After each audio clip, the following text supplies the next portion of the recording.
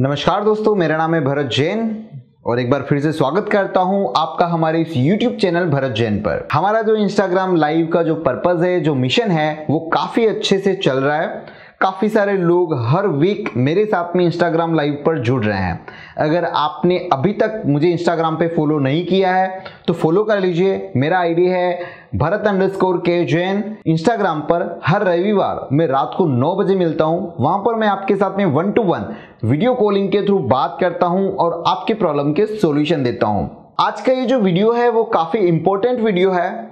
चीज़ बहुत छोटी सी है, बात बहुत छोटी सी है, लेकिन वो आपके सीसीटीवी इंस्टॉलेशन के दौरान बहुत ही बड़ा इंपॉर्टेंट रोल प्ले करती है।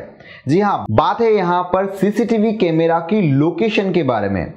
हम कई बार प्रोजेक्ट बहुत अच्छे से कर लेते हैं कैमरे हमने काफ़ी अच्छे तरीके से लगा दिए हैं, लेकिन जब हम फुटेज देखते हैं, जब भी कोई इश्यू होता है फुटेज देखते हैं, तब हमें फुटेज जो है वो क्लियर दिखाई नहीं देती। मतलब सामने वाले का फेस नहीं आ रहा है, या फिर जो हमारे क्लाइंट को चाहिए, जिस पर्पज़ के लिए उसने लगाया है, वो उसका कहीं शॉर्ट आउट होता हुआ नज़र नहीं आ रहा है। एविडेंस हम कलेक्ट नहीं कर पा रहे हैं। तो जी हाँ आज का ये जो पूरा वीडियो है, वो इसी टॉपिक के ऊपर है। तो शुरू करते हैं हमारे आज के इस वीडियो को। जब भी हम सीसीटीवी कैमराज लगाते हैं प्लान करते हैं तो एक चीज़ बहुत इंपॉर्टेंट रोल प्ले करती है, वो है पर्पज जहाँ पर आप कैमरा इंस्टॉल कर रहे हो, जिस क्लाइंट के यहाँ पर आप प्लानिंग कर रहे हो सीसीटीवी कैमरा इंस्टॉल करने की तो उसका एक पर्पज होता है। फॉर एग्ज़ाम्पल रेसिडेंशियल सोसाइटीज है तो वहाँ पर भी एक पर्पज होता है सोसाइटी के अंदर आने जाने वाले लोग उनको देखने होते हैं, उनके फेस उनको देखने होते हैं, आने जाने वाली गाड़ियाँ उनको देखनी होती हैं। इसी तरह से कमर्शियल कम्प्लेक्स इसी तरह से आपका हो गया फ्लैट और विलास तो वहाँ पर जो उनको देखना होता है रिटेलर्स हो गए शॉप्स हो गई, वहाँ पर उनको कई बार अपना मटेरियल देखना होता है। ज्वेलर्स डायमंड्स अगर वाले जो लोग हो गए, उनको स्पेसिफिक उनका जो टेबल होता है, वहाँ पर फोकस करना होता है। जो नॉर्मल रिटेलर्स हैं, उनको कैश काउंटर पर कितनी नोट आ रही है, जा रही है, या फिर वो नोट जो क्लाइंट के साथ में लेन देन कर रहे हैं, वो नोट कौन सी है, वो आइडेंटिफाइड करना होता है।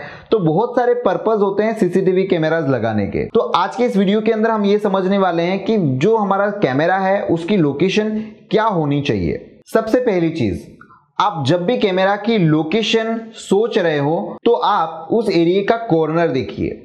सबसे अच्छी जो लोकेशन होती है किसी भी रूम में, किसी भी एरिया के अंदर, वो होती है कॉर्नर पॉइंट कॉर्नर पॉइंट में हम मैक्सिमम व्यू फ़ील्ड जो होता है, वो हम लोग अच्छे से देख पाते हैं. दूसरी चीज़ बहुत इंपॉर्टेंट है, वो है कैमरे की हाइट आप कौन सी हाइट पे कैमरा लगाएँगे कि जहाँ से आपको वीडियो जी फुटेज है, वो आपको अच्छी मिले? आपको इंसान का फेस देखना होता है, ना कि उसका हेड देखना होता है. तो कई लोग ये गलती करते हैं इवन आपके जो आप जहाँ पर काम करोगे, वहाँ के जो ऑनर हैं, वो भी यही बोलेंगे कि हमें कैमरा ऐसी लोकेशन पे लगा के दो, बहुत ऊँचा रहे, कोई उसको डैमेज ना कर पाए। तो ये बहुत ही रॉन्ग प्रोसेस है। यहाँ पर आप कैमरे की सुरक्षा के बारे में बात कर रहे हैं, लेकिन जब कोई इंसिडेंट होगा, तब जो आपको फुटेज चाहिएगी, तब जब आपको आइडेंटिटी की बात आएगी एविडेंस कलेक्ट करने की बात आएगी, वो कैमरा आपके कोई काम नहीं आएगा। So try to fix the camera at the wall आठ से दस फीट की हाइट से ज़्यादा आपको कैमरा उससे ऊँचा नहीं लगाना है।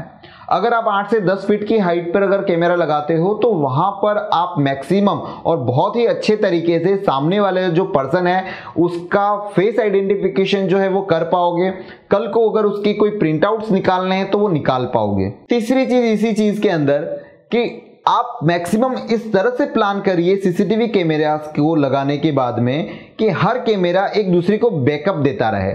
मतलब कि आपने फ़र्स्ट कैमरा लगाया है तो जो सेकंड लगा रहे हो सेकंड कैमरा फ़र्स्ट कैमरे को देखे फ़र्स्ट कैमरा सेकंड कैमरे को देखे। मतलब हर एक कैमरा एक दूसरे की तरफ़ अगर देखता रहेगा, कहीं ना कहीं ट्राई करिए। मैं ये नहीं कहता कि आप इतने मैक्सिमम कैमरा लगा दीजिए, लेकिन ट्राई करिए। इससे आपको बेनिफिट ये होगा कि अगर कोई फ़र्स्ट कैमरे में छेड़खानी करेगा तो सेकंड कैमरा उसको बैकअप देगा।